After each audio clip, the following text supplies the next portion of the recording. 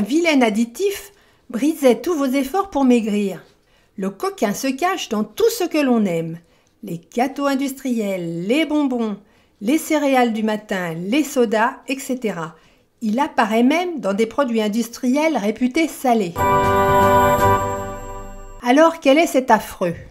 Il s'agit du glucose-fructose. C'est quoi?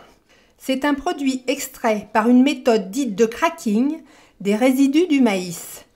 Il est très bon marché, ce qui fait que les industriels l'utilisent à tour de bras à la place du bon vieux sucre. Quel est son danger? Sa teneur en fructose est beaucoup plus importante que celle des sucres de betterave ou de canne. Le fructose, c'est ça, c'est ce qui se trouve dans les fruits. Oui, mais dans les fruits, il est ingurgité avec leurs fibres, ce qui ralentit énormément l'absorption. Pris en direct, il fatigue le foie et l'incite à produire de la graisse. L'université Wake Forest de Caroline du Nord a testé les effets du fructose sur les macaques dont le métabolisme est très proche du nôtre. Au bout de 7 ans, les singes qui avaient mangé beaucoup de fructose étaient 50% plus gros et avaient trois fois plus de diabète de type 2. Les dangers sont prise de poids, diabète, hypertension et certains cancers puisqu'il a été scientifiquement prouvé que les gens en surpoids avaient un risque aggravé. Conclusion.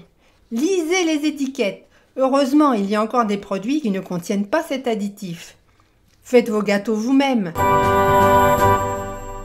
À ce propos, vous pouvez sans problème baisser les quantités de sucre indiquées dans les recettes de 10 à 20 Je le fais depuis toujours et mes chéris n'y voient que du feu.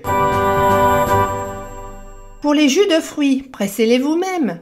Vous aurez les vitamines naturelles en plus. Les industriels sont obligés de remettre des vitamines de synthèse dans leur préparation. Le mieux est d'ailleurs de manger vos fruits entiers. Alors oui, vous pouvez rester gourmand, mais ouvrez l'œil sur ce que vous mangez.